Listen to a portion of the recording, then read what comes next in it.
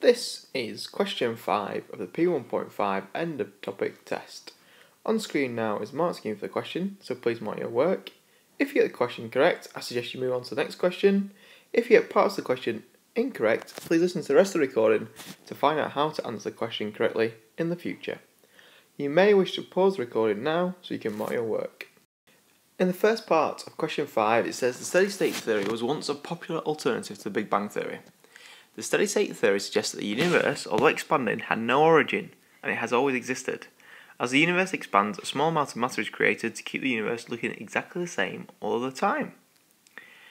When considering the origin of the, origin of the universe, what is the difference between the Big Bang theory and the steady state theory? Well, part of the answer is in the question because the steady state theory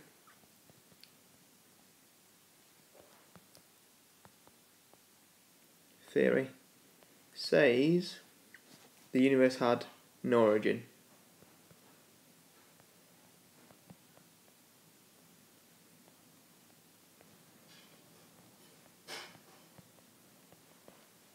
Full stop. That's one mark. The idea that steady state has no origin.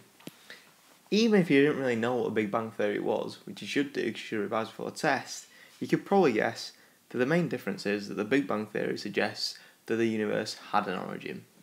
And that is the second mark.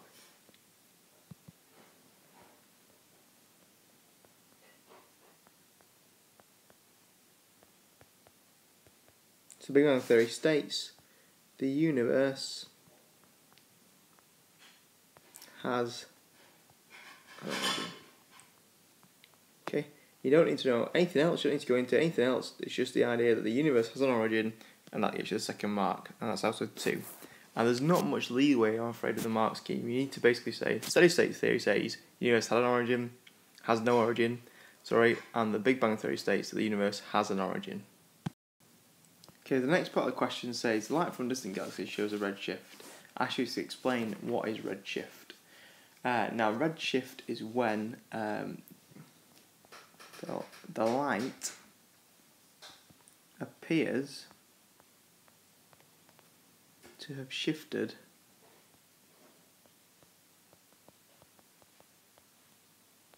towards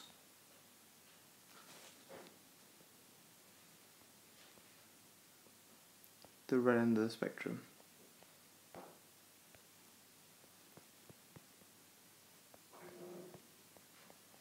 Okay, as the visible light spectrum, so the light appears to shifted towards the red end of the visible light spectrum.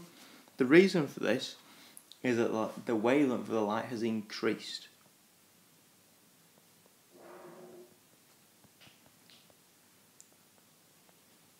So this is because the wavelength, which remember has symbol lambda, I put that in brackets. So wavelength of the light has increased. That's a full definition there. Now the bit that you actually need is the wavelengths increased and that get you one mark. However, if you had to put the light appears to have moved towards the red end of the spectrum, that would also get you one mark. So that bit there will get you another mark as well, or the, the mark as well. So you have one mark for either one. The correct answer, what, what the mark scheme was looking for, is this is because the wavelength of light has increased However, you'd also get a mark for saying that the light appears to have shifted towards the red end of the spectrum. The next question says, why does redshift provide evidence to support both the Big Bang theory and the steady state theory? So we're going to talk about redshift first. So what does redshift prove? So redshift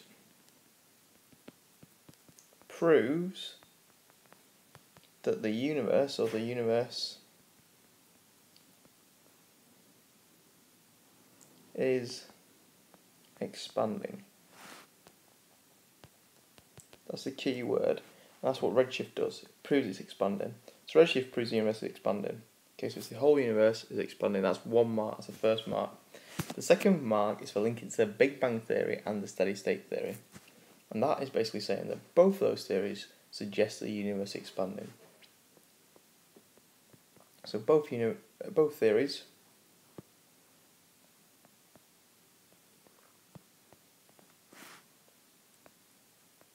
uh, suggest that the universe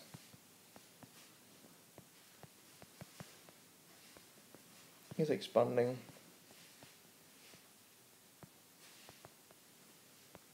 So redshift supports both theories.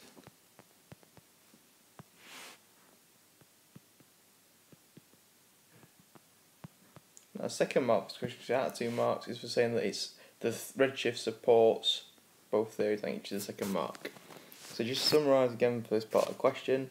The idea is that redshift proves the universe is expanding, that's the first mark, and the second mark is for basically saying that this supports both theories. And you can have words to that effect as well to get those marks. The next part of the question says the steady state theory is important in encouraging new research into the universe. Suggest a reason why scientists were keen to carry out new research. Now, the reason scientists were, were keen to carry out new research is that scientists were basically being paid to support either one of the theories. So they wanted to find evidence to prove that their theory is correct. So the reason why they encouraged new research is um, it was basically encouraged to, to prove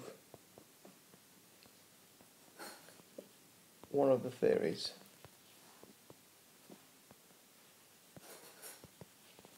Correct. You could alternatively have uh, the reverse argument, so that get you one mark. The reverse argument, or to disprove